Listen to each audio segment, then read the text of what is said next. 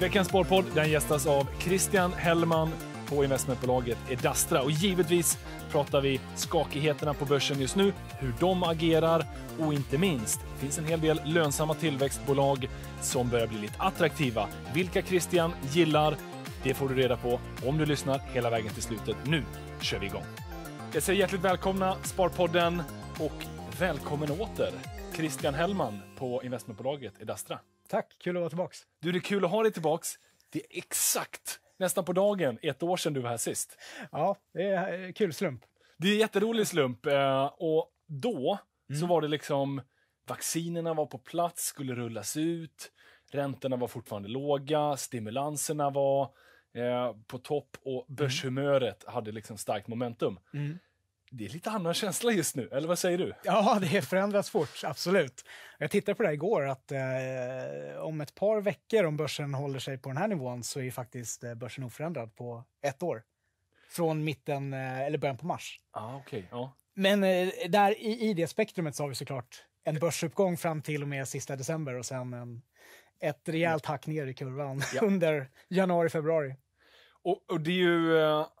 Det är ju någonstans lite lustigt hur ett årsskifte kan eh, liksom byta humör. Det, det kändes nästan sådär att eh, vi gick in i 2022 och så plötsligt slås man av att räntorna ska upp. Och så gjorde det att vi, vi tog liksom klivet ner. Ja. Och sen så kom hela Ukraina, eh, Ryssland, vilket nu eskalerat den här oron. En olycka kommer sällan ensam. Ja, men det, det ligger någonting i det där kanske. Hur? Eh, men hu- hur... Ni, ni är ju, Edastra är ju ett investmentbolag. Eh, ni äger både lite noterade och onoterade tillgångar. Men ni är ju ändå människor av kött och blod. I allra högsta grad. Påverkas ni? Hur, hur påverkas ni av en sån här Jo, skakighet? men det vore ju konstigt om man sa att man inte påverkas. Eh, så att det, det är klart man påverkas och eh, på något sätt tycker jag att det ska man ju också göra. Eh, man ska påverkas och, och reagera på, på omvärlden. Ja. Sen har ju vi fördelen då av att det inte har några utflöden som en, en aktiefond Ja. nu troligtvis har, eh, som de måste parera. Eh, så att vi kan ju vara långsiktiga och liksom kapitalet vi eh, investerar är ju evigt. Vilket såklart har sina fördelar i, i den här liksom, turbulensen. Men, eh, men med det sagt, det är klart man påverkas och eh, eh, ja, men vi har väl tagit eh, hem lite kapital och, och dragit ner något på risken och byggt lite kassa under, under den här turbulenta tiden i januari och februari. Men hur resonerar ni kring, för ni är ändå långsiktiga investerare över tiden, det, det är svårt att tajma marknaden, men man kan ändå så parera risken. Hur görs den avvägningen? Va, liksom, vart ska man sälja? Hur mycket ska man sälja? Hur mycket ska man våga gissa att det här kriget eskalerar versus det skulle kunna ta slut snart förhoppningsvis och så får vi ju en... en liksom, Det där är på marginalen. De flesta av våra investeringar eh, är vi väldigt långsiktiga i. Eh, Och framförallt eh, ta mikrosystemation där vi är huvudägare så är det klart att vi inte gör några, några förändringar. Nej. Sen har vi liksom en aktiv förvaltning också lite vid sidan om. eh, Där man kan vara lite mer opportunistisk. ah, okej. Både på upp och nedsidan. Eh, Så att det är ju där man kanske gör lite mer små justeringar av riskprofilen. Ja. Men bygger ni en idé av att det här ska hända liksom? Eh, Nej, alltså vi, vi, eh, vi, vi liksom försöker inte förutspå börsen på eh, tre till sex månader. Det är, jag skulle vilja påstå att det är knappt någon som kan göra det. och det är definitivt inte vi. nej. Utan vi fokuserar på bolag, hitta fantastiska, bra, intressanta, spännande, växande bolag och investera i dem på tre till fem år. Men sen självklart kan man ju alltid parera lite eh, börsen, liksom, börsens humör Ja. på kort sikt. Men bra bolag. Nu, alltså det, vi har ju en del bolag som är ju ner 30 till 50 procent sedan årsskiftet. Ja. Börjar inte en, en del av de där bolagen, alla är inte fina, men en del, börjar inte de bli ganska liksom, attraktiva? Jo, absolut. Och vi, vi sitter ju nu, vi har ju liksom en, eh, en, eh, en shortlist, eller en shoppinglista, Ja. kan man väl säga, som vi har och kultiverar liksom löpande. Ehm, Men det är klart att den blir ju eh, mer och mer aktuell Ja. eh, nu i de här tiderna. Då Så vill att man ju veta. Finns, finns det några aktier på den där listan som du kan dela med dig av? Vad är det ni sitter och kikar på just nu? Och varför? Nej, men vi, vi har ju en förkärlek för tillväxt. Ja. Så vi vill ju hitta bolag som har en, förhoppningsvis, eh, lång eh, framtid eh, av tillväxt under, eh, ja, de kommande åren. Ja. Eh, sen har vi väl eh, kanske blivit mer kräsna vad gäller även lönsamhet. Relativt kanske om man blickar tillbaks 6-12 månader. Ja. Men jag tycker många är väldigt, vi pratar liksom kvalitetsbolag eh, som också då har en lönsamhet och en intressant tillväxtprofil har ju kommit ner väldigt mycket på eh, kort tid. Eh, man kan ju ta ett bolag som eh, Truecaller Ja. eh, som vi investerade i vid eh, IPO i höstas. Som eh, både har gått upp väldigt kraftigt och sen kommit ner väldigt kraftigt. Handlas ju fortfarande över IPO-kursen, men det är ett bolag som rapporterar 100% tillväxt och 50% marginal. Så att jag tycker det finns, finns många intressanta möjligheter där ute. Ja. Och eh, 50% marginal, är det, pratar vi rörelsemarginal, vinstmarginal? Eh, det, var EBIT, det är ebitda-marginal. ebitda-marginal. Ja. Men eh, Och det är ett bra lönsamhetsmått för er, eller? Ja, vi, det är klart man vill komma så långt ner i resultaträkningen som möjligt. Ja. Eh, men eh, ligger man på 50% ebitda-marginal så Det finns det goda... finns det, finns det gott, eh, gott med marginal att klara sig Ja. över nollan, även på sista raden. Nej, men, ja, men jag fattar. Och vad baserar ni lönsamheten på? Är det liksom ett år, eller tre år, eller fem? Eller så här, I grunden starka kassaflöden. Det finns ju de här tillväxtbolagen som säger att vi kan slå över till lönsamhet. Men Ja, nej, men man vill nog... Eh, ja, absolut. Det finns ju sådana. Nej, men jag skulle nog säga att man vill se lönsamhet eh, här och nu Ja. eh, till stor del. Och det är väl liksom det man ser på börsen också, att den har ju blivit väldigt mer kräsen kring Ja. lönsamhet. Vilket är fullt naturligt. Man står inför en högre osäkerhet och det kanske inte är lika lätt att eh, finansiera sig, eh, behöver göra en emission eller liknande. det. Så det är klart att då måste man bli mer kräsen på att bolaget faktiskt är självfinansierande. Och emissionsrisken är ju liksom... Den torde vara ganska hög. Affärsvärlden gjorde, och Peter Benson gjorde en bra krönika om det här om veckan. Mm, Eh, mm. Det är ju många bolag som kom till börsen förra året, kom för att skaffa kapital, inte för att de redan tjänade kapital. Nej. Och som kanske nu då, om vi säger att det här blir ett mellanår, kommer behöva mer kapital här mot Mm. slutet det här eller nästa. Mm. Sitter ni och är lite opportunistiska? Sk- Liksom, här skulle det kunna bli någonting spännande, vi skulle kunna ta en större position. Eller än Ja, en gång, hellre så, sålla bort dem, foka på lönsamhet och så får det... Ja, men det är en jättebra fråga. Alltså, I grund och börs, botten är ju börsen till för att eh, finansiera bolag. Så att ur det perspektivet tycker jag inte att det är någonting konstigt med att bolag även behöver Nej. göra nyemissioner. Så länge man som investerare är medveten om de riskerna man eh, tar sig an när Ja. man investerar i sådana bolag.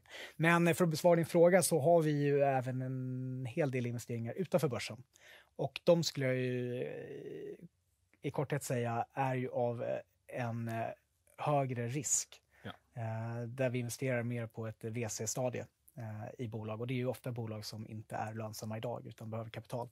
Så att man kan ju säga att vi, vi gör vår beskärda del av nyemissioner i, utanför Ja, okej. börsen. Ja. Och därav så skulle jag säga att vi fokuserar mer på lönsamma bolag som inte eh, kanske behöver nytt kapital eh, på börsen. Ja. När vi investerar på börsen. Och liksom, om man får gissa här lite, är anledningen att så här, risk-reward kanske är bättre i den onoterade miljön? Att uppsidan den dagen de sen ska börsnoteras och allting som händer däremellan. Ja, nej, Eller men det- vad- vad är liksom det, är det är klart att risken är högre i, i den onoterade miljön om du investerar liksom i tidig fas, Ja. såklart. Eh, där eh, bolaget är kassaflödesnegativt, har ju fantastiska liksom, eh, möjligheter såklart, men behöver kapital under de kommande åren. Så det är klart att då finns det ju liksom en, en högre potentiell uppsida också. Ja.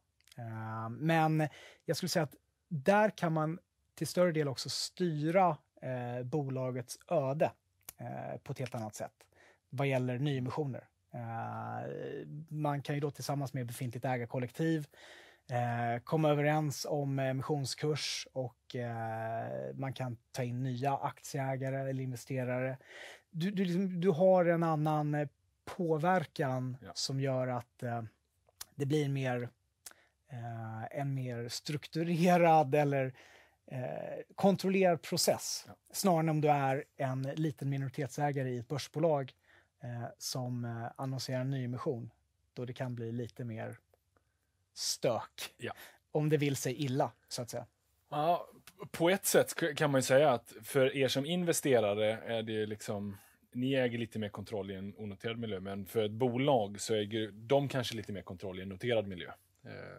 Eller liksom det finns åtminstone mer strukturerade vilka prissättningar. Du kan inte sätta emissionerna för avvikande för det kommer att slå på kursen eller slå på det befintliga ägarkollektivet. Absolut, och eh, för ett bolag då eh, så är det klart att i den noterade miljön så finns det ju många, många fler tagare Ja. av din nyemission. Det är ju egentligen en oändlig mängd investerare som kan investera i ditt bolag.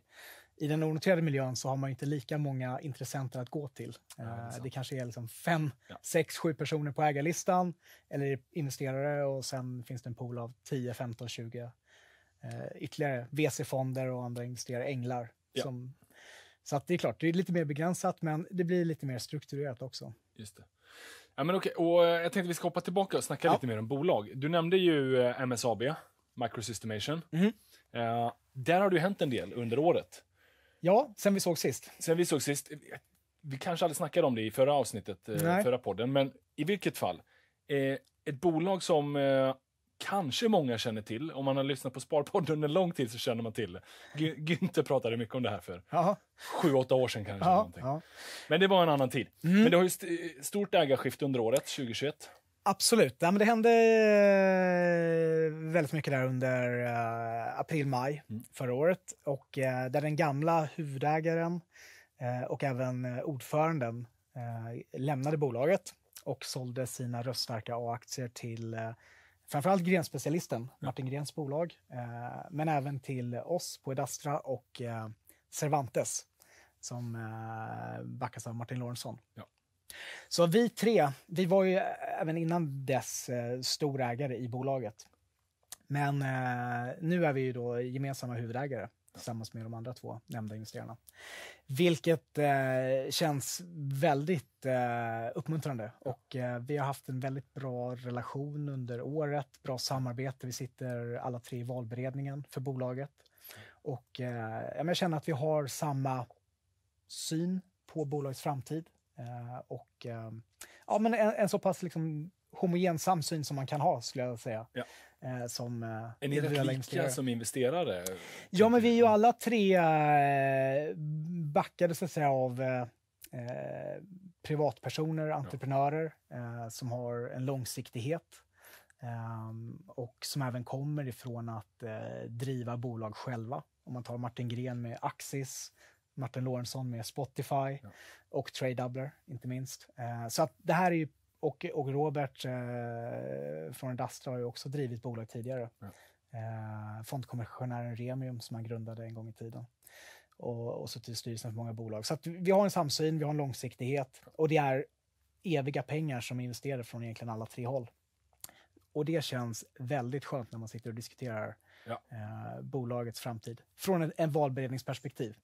Sen eh, får styrelsen och ledningen säga sitt. Ja, Och, och det är intressant. eh, Vi ska snacka lite om det, hur ni är som aktiva ägare och vad man kan göra. Så, men jag tänker vi kan för lyssnarna bara, så här, microsystemation, Mm.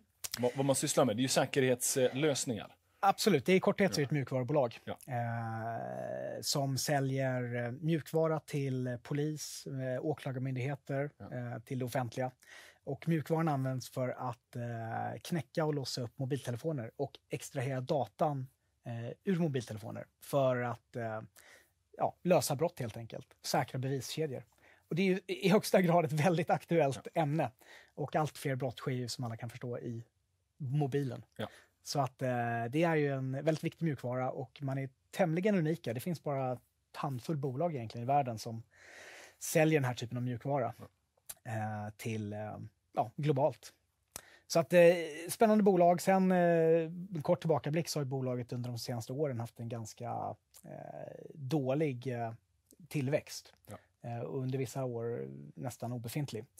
Eh, sen hade man ett väldigt bra Q4 här nu senast när man kom ut med en positiv vinstvarning och växte 60 procent. Så förhoppningsvis så eh, är man på rätt spår, men det krävs hårt arbete för att hålla uppe tempot. Ja. En av få aktier just nu när vi spelar in som faktiskt är upp i år och Mm. ganska kraftigt upp dessutom. Ja. Eh, är lite spännande i den här miljön. Men det jag tänkte komma till var eh, här, säkerhetslösningar. Det, det finns ju delvis då politiska risker i ett sånt bolag. Det har det ju varit. Det, det liksom bubblar upp från tid till annan att Absolut.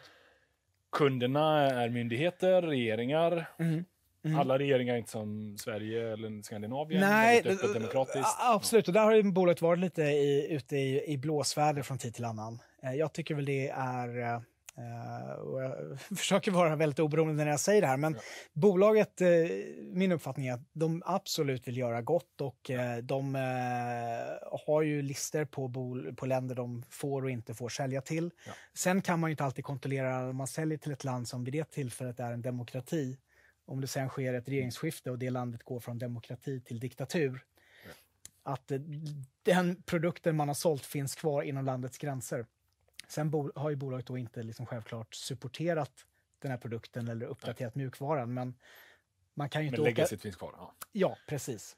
Så det är svårt. Är, det, var ett tag sedan jag kollade på dem, men är inte, om man ska då räkna tillväxtcaset, är inte det att man Mm. blir bättre på att slå över till eh, occurring revenue?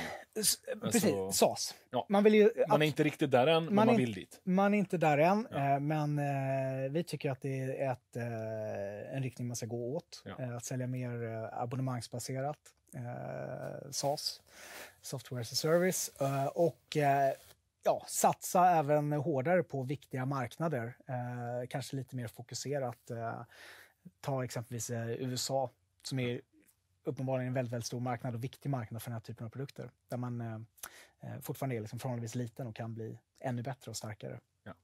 Så att eh, det känns positivt. Eh, Q4 var eh, stark och förhoppningsvis kan man hålla i det. Eh, man kan ju nämna där att eh, grenspecialisten som kom in som ägare förra året har ju satt in en person från Axis i styrelsen Ja. som är USA-chef för Axis. Eh, Så han sitter numera i MSABs styrelse. Och Axis har ju varit ett väldigt framgångsrikt bolag. Ehm, eh, Och de verkar ju inom ungefär liknande områden, har ungefär samma kunder. Mm. Eftersom Axis också säljer liksom säkerhetskameror och, och liknande det. till myndigheter och polisstationer. Och uh, hur, hur viktigt är det för er, MSAB och Sidor, för där har ni ju ingen styrelserepresentation, men hur, hur viktigt är det för er att ha styrelserepresentation som aktiv ägare? Eller är inte det på det sättet ni agerar aktiv ägare? I vissa fall sitter vi i styrelsen. Eh, i, ett par onoterade bolag så eh, har vi en representation i styrelsen, men det är inte nödvändigt. Det viktigaste för oss är att det sitter rätt personer i styrelsen Ja. som kan skapa aktieägarvärde. Eh, vi är inte ute efter makten per se, Nej. att, att sitta Bra. i en styrelse. Ja, men, det är ett väldigt sunt sätt att se på det. Och jag, här, jag kan tänka mig också att man kan spela ett annat, eh, en annan förhållande när man är som utomstående. Ja, och det är man en eh, huvudägare i ett eh, bolag och framförallt om det är onoterat så har man ändå liksom en väldigt eh, tät dialog med ledning, med styrelse så att det går ju att eh, kommunicera ändå, så att säga. Eh, men, eh, nej, men det är klart att vi är aktiva, Ja. men eh, vi känner att det viktigaste är att det är en styrelse som är eh, populerad av kompetenta människor som kan driva bolaget framåt. Och om det inte råkar vara mig eller Ja. Robert eller någon annan i vår organisation så uh, är vi gladeligen ställer vi oss åt sidan och eh, nominerar den personen. Det är fullt rimligt. Mm. Men du, på tal om era team. Eh, Mm. Vad har hänt i Dastra sen vi såg sist? Nej, men vi har eh, byggt teamet eh, lite grann. Vi är fyra Ja. personer idag eh, som jobbar aktivt med investeringar. Och eh, vi kan väl på sikt kanske bli ytterligare en eller två personer. Men eh, så många fler behöver vi inte vara. Eh, men eh, vi har byggt, litet team och eh, gjort lite investeringar och även startat en podd har Oh, vi gjort. Inte- nice. Vad heter den? Upplyst heter den. Upplyst. Eh, så att eh, den eh, kommer ut lite, lite sporadiskt. Där eh, jag och Robert känner oss eh, manade att eh, intervjua spännande människor som inspirerar oss. Det är lite mer av en intervjupodd. Ja. Så att, ja, det har varit roligt. Och är man nyfiken, då är det ju bara att slänga in en prenumeration på den i sin poddapp. Så får man ju en pling när det dyker upp. Så är det. Men eh, jag har faktiskt lyssnat, men det var ett tag sedan här nu. Ni Ja. får, ni får eh, köra lite oftare tycker jag ändå. Ja, absolut. Mycket. Vi fokuserar på investeringar framför allt. Det är kanske viktigast nu när du ändå säger det. Så att det är väl, eh, låt gå då. Ja. Men du, eh, spännande. Vad liksom, vart är det Dastra om fem år? Om fem år så är, Är det börsnoterat? förhoppningsvis eh, på börsen. Ja. Eh, det är ingen nödvändighet, men eh, det är ett mål vi satt upp och eh, det vi jobbar mot. Ja. Sen om det sker om ett, två eller tre år, eh, det får timing och andra faktorer avgöra. Men, eh, men om fem år så kan vi nog se att det finns på börsen. Och, och vad skulle vara en fördel för er att börsnotera? För det är som sagt, ni har ju redan kapital, det är långsiktigt kapital. Mm. Det skulle kunna vara för att växa affären. Alltså, Man kan växa affären givetvis, Ja. ta in kapital Ja. eh, och bli lite, få en lite större kropp. Ja. Vilket såklart ger vissa fördelar i eh, den typen av investeringar. Man kan attrahera, man blir eh, mer relevant. Vi är relevanta, men det är alltid liksom en skala.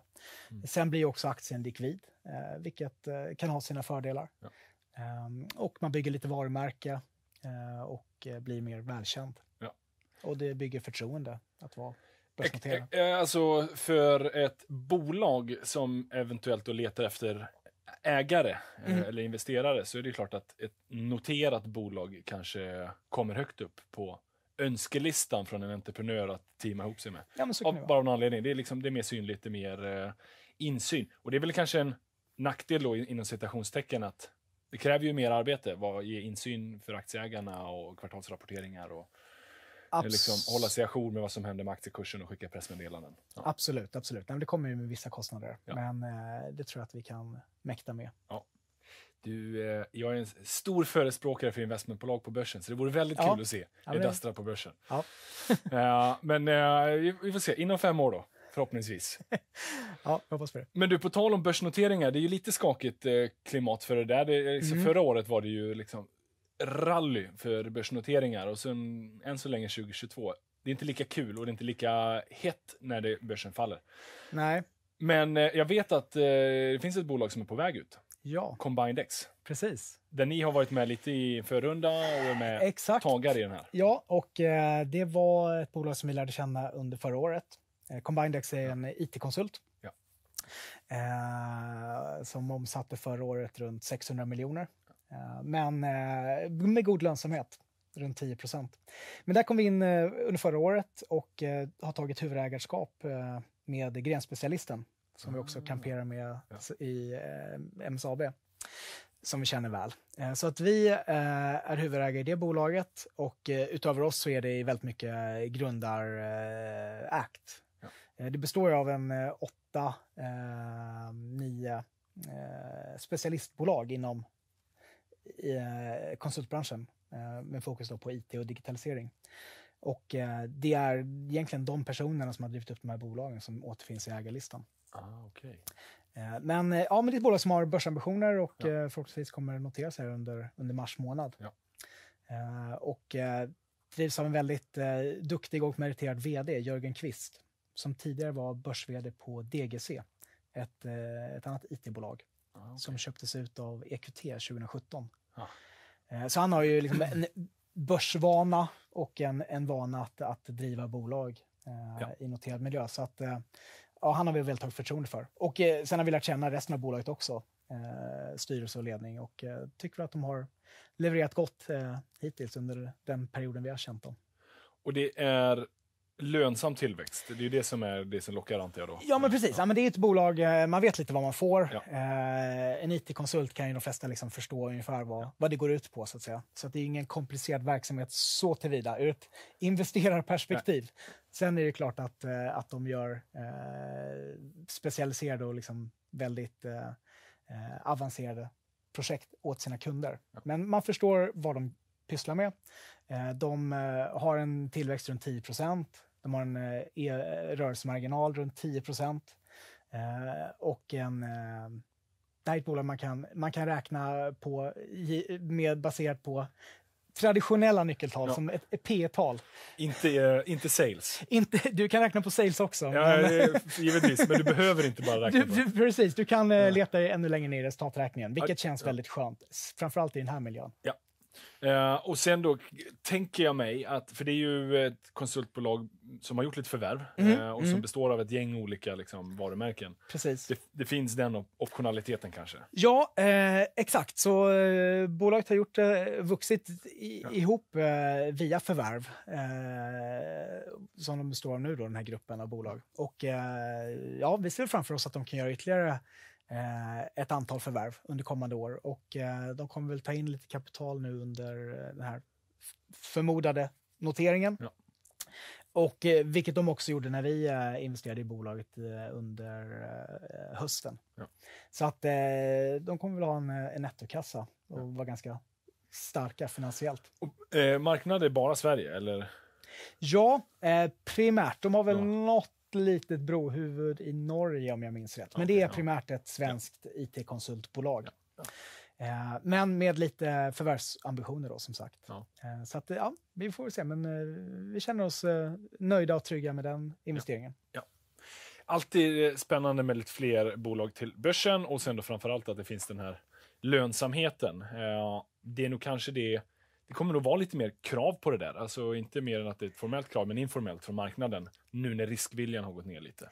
Ja, och det, det där känns ju naturligt. Det går ju lite upp och ner. Börsen är ju eh, väldigt mycket av ett eh, psykologi och sentiment Ja. och eh, det är väl bra att det sansar sig lite grann och att, eh, jag menar, tittar man tillbaka på förra året så är, är det faktiskt ganska många, nu har jag inte siffrorna i huvudet, men 150 nya bolag. ja, precis, 150 nya bolag och det är ju förhållandevis många av dem som kanske idag inte handlar över sin noteringskurs. Japp.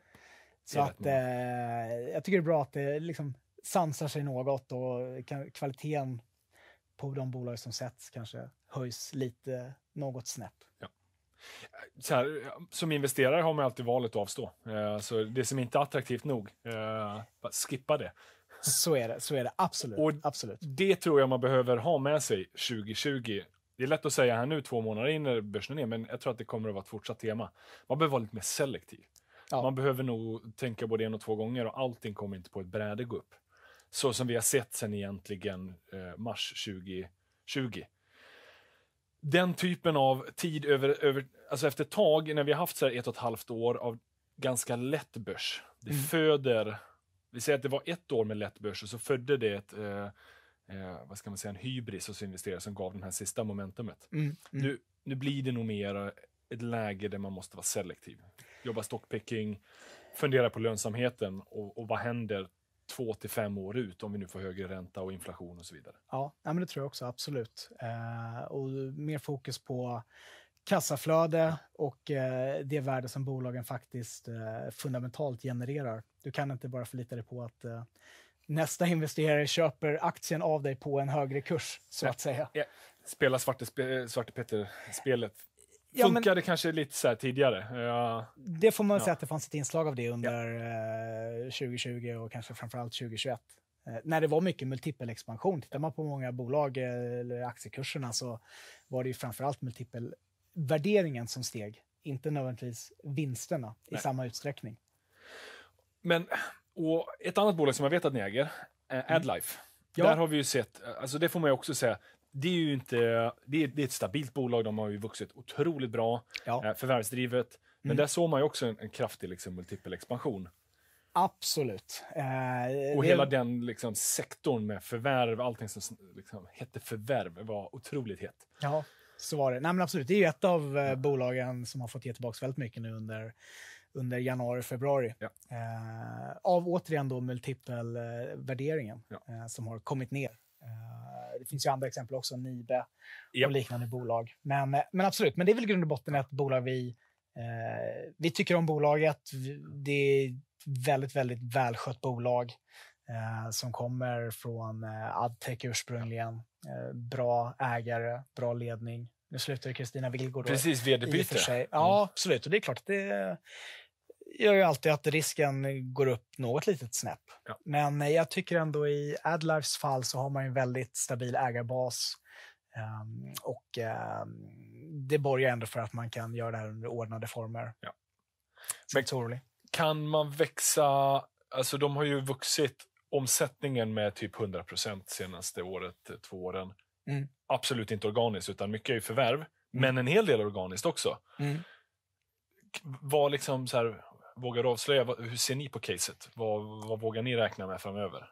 Ja, men det är klart att det har, vi har ju varit mycket eh, drivet av eh, pandemin. Ja. Såklart, det är deras organiska tillväxt. Eh, så att det är ju lite, såklart om man tittar närmsta kvartalen, så är det klart att risken har gått upp. Ja.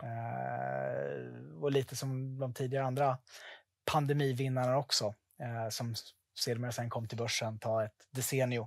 Ja. Att eh, investerare och även säljare av befintliga bolag har ju haft svårt att riktigt bena ut hur mycket av den historiska tillväxten de senaste kvartalen Ja. var pandemidrivet och inte. Och det finns ju sån eh, riskmoment även i Adlife Ja. eh, på lite kortare sikt. Men på lite längre sikt så tycker vi att de strukturella tillväxtdrivarna finns ju där för bolaget. Med tanke på åldrande befolkning, mer, eh, mer investeringar i sjukvårdssektorn. Eh, så att vi gillar bolaget, men eh, eh, på kort sikt så är det klart att risken är Ja. lite accentuerad. Men, men då är det bra att man kan ha ett långsiktigt perspektiv. Men hur, hur gör ni i sådana här compounders? Vå, alltså, räknar ni med förvärv? Räknar ni med, med ett antal förvärv? Eller så hur, hur gör ni en kalkyl på en sån bolag? Bra fråga. Ehm, jag skulle säga att vi har lite olika scenarion. Ja. Eh, där man kanske har ett scenario utan förvärv och ett scenario med lite förvärv. Eh, sen vågar man inte dra ut eh, tangenten till fullo alltid. Men eh, jag skulle säga att vi jobbar ganska mycket med liksom en scenariobaserad eh, analys. Ja. Ehm, men eh, generellt sett så är det väl alltid bra att försöka ha lite hängslen och li livrem och försöka kunna räkna hem bolag. Ja, I det här fallet om vi pratar förvärvsbolag, även utan förvärv. Ja. Så att det finns lite, och lite att ta av om det inte går som det ska.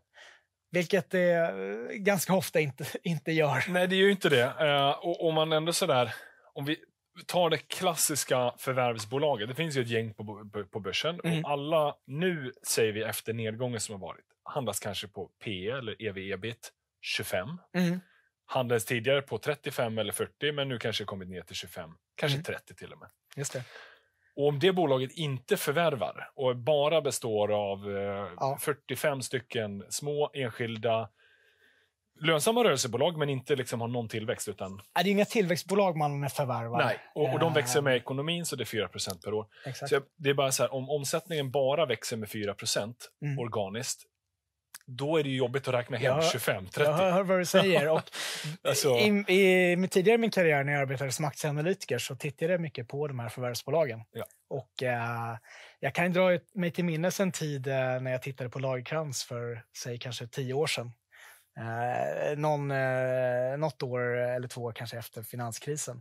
Och då kunde man ju få Lagerkrans på sex gånger ebit. Det var ju i och för sig lite annan tid. Ja, ja. Eh, men eh, de andra förvärvsbolagen handlades kanske runt 10. Ja. Och sen hade man ju Beijer Ref som var lite kvalitet och eh, sågs som lite, lite, lite dyr på säg 13-14 gånger ebit.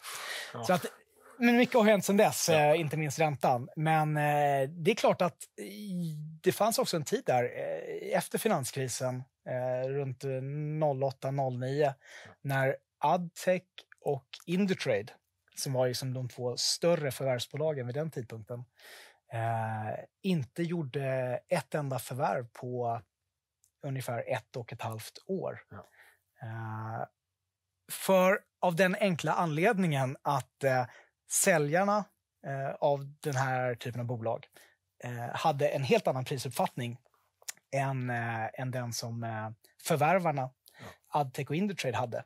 De kunde helt enkelt inte mötas för att de här entreprenörerna levde kvar i att deras bolag eh, var värda, säg 100 miljoner. Vilket var kanske ett bud de hade fått på bolaget precis före finanskrisen. Men eh, där Adtech och Indutrade då kanske tyckte att det här var ju värt 60 miljoner nu. Och de här entreprenörerna är oftast inte tvingade att sälja för att Nej. de har ju drivit upp de här bolagen under 10-20 år eh, och lever gott på utdelningarna och har en, ja, en solid, trygg eh, finansiell grund att stå på. Så de kan ju lätt eh, vänta 4-5 år med att sälja bolaget, vilket de också de facto gjorde. Så att det kan ju absolut vara så att det går ett år, 12 månader utan ett enda förvärv. Ja. Och då blir det ju lite annan kalkyl om man tittar på de här bolagen. Inte minst om man handlas på 25 gånger vinsten som är fallet idag. Jag tänker ändå, jag, jag vet inte hur skuldsättningen såg ut då, Mm. men det, alltså, det som har hänt nu är ju att ta 2018 fram till 2021 så har det gjorts väldigt mycket förvärv. Det har Mm. varit en intensiv marknad för transaktioner. Så det har varit lätt för dem att köpa. Eh, en del av dem kanske har klivit upp lite i multipel, men de har ändå varit ganska disciplinerade på att köpa för fem till åtta gånger Absolut. eh, liksom, ja, vinsten eller rörelseresultat i de här underliggande. Just det. Så nu har de byggt upp en viss skuld. Det som ändå skulle vara en fördel om vi går två år utan förvärv är ju att de hinner betala ner skulden. Ja, absolut. Eller att den hinner inflateras bort om vi nu får en högre inflation. Ja, det är precis. Nej, men absolut. Eh, Adtech och Indutrade tuffade ju på vid den där tidpunkten, eh, 09 eh, 2010. Det är klart att eh, tillväxten var ju då, som du säger, mer i linje med ekonomin. Ja. Eh, kanske någon procentenhet mer. 4-5 procent. Eh, men absolut, de eh, betade ju ner eh, skulden och eh, sen tog ju ekonomin fart igen. Säljare och köpare möttes och så började förvärven komma tillbaka. Eh, Men det beror också på vilken tidshorisont man har. Tittar man på det liksom över en hel cykel så gör de här bolagen förvärv, men det kan ju komma kortare perioder när man inte gör det. Ja. Det kanske man inte riktigt ser framför sig, eller om man har investerat under bara de senaste tre, fyra åren på börsen, så kanske man tror att det alltid Ja.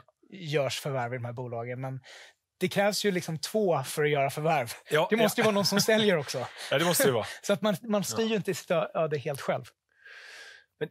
Det är någonting som fascinerar mig med de här förvärvsbolagen. Och det är ju ändå rätt många duktiga investerare som gillar att ha alltså, någon, något eller några sådana här compounders i portföljen. Mm. Jag ser er som en duktig investerare. Ni, ni har eh, lite AdLife. Ja. Eh, ta Lorentzons eh, Cervantes, de har lite Christian Berner. Just det. Mm. Spiltan investmentbolag har lite Technion, Creades har lite Seafire. Alltså, Ja. Trade kommer från industrivärlden. Absolut. Ja, men man utnyttjar ju lite... Vad är det man gillar med den där man ut- compounding? Man utnyttjar ju prissättningen som eh, skiljer sig mellan eh, noterad och onoterad miljö. Ja. Eh, onoterade bolag är ju värderade eh, lägre. Ja.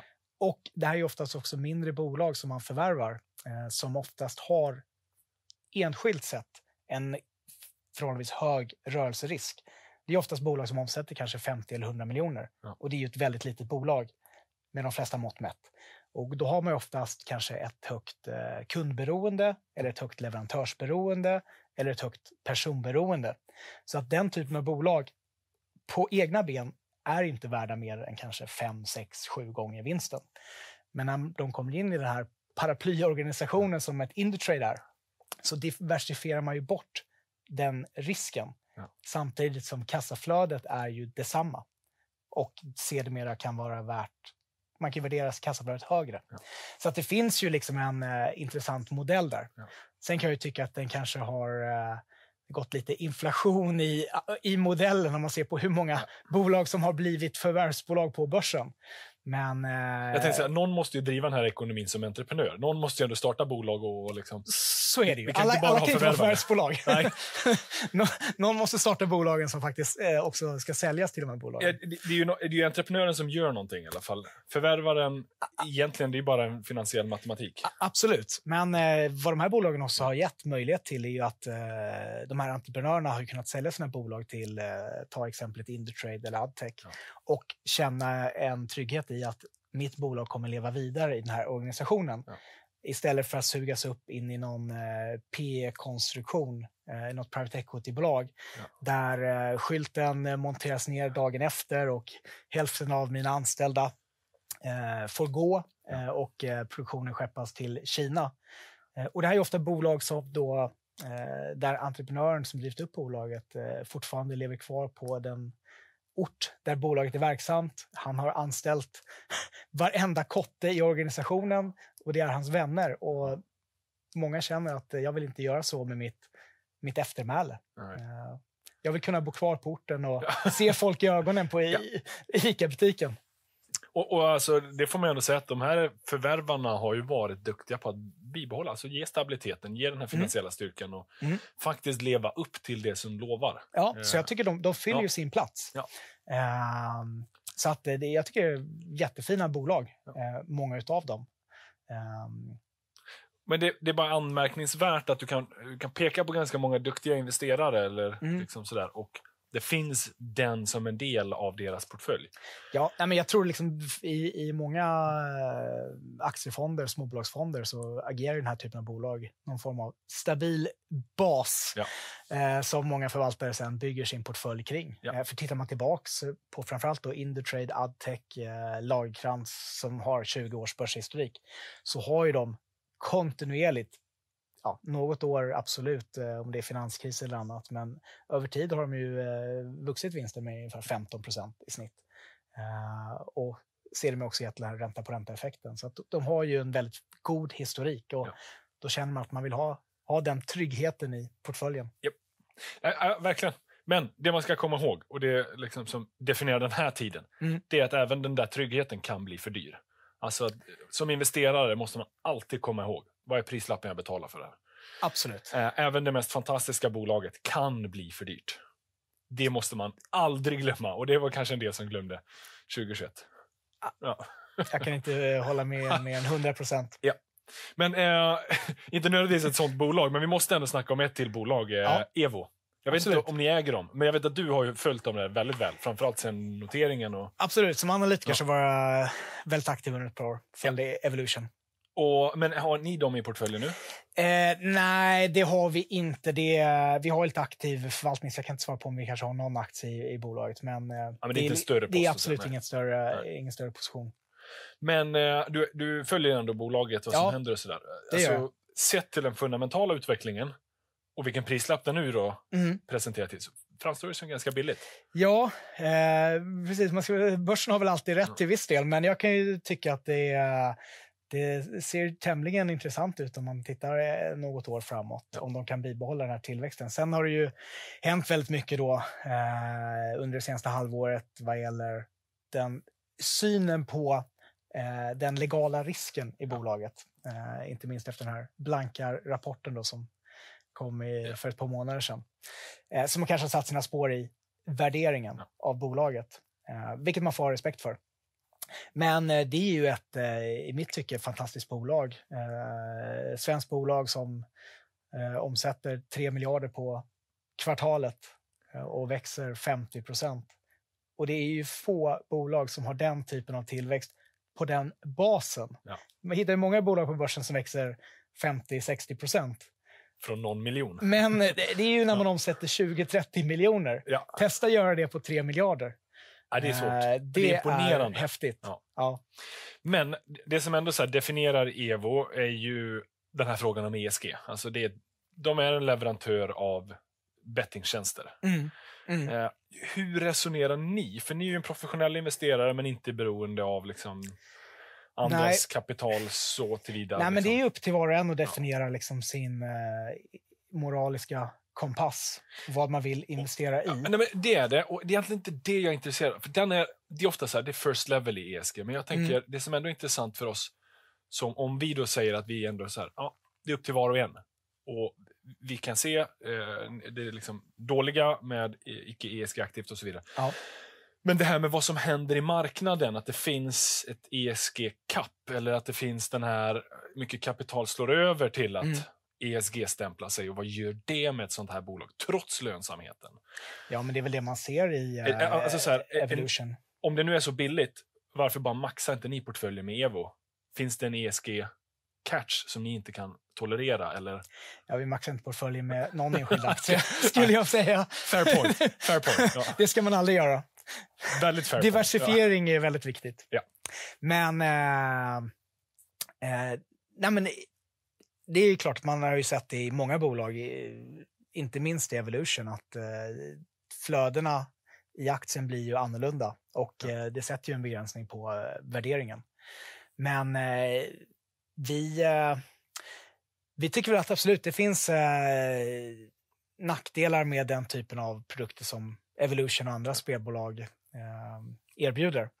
Men vi tycker väl samtidigt också att eh, bolagen, de noterade bolagen framför allt, gör ju också väldigt eh, mycket i att försöka, eh, i det här fallet om vi pratar spelbolag, stävja spelberoende.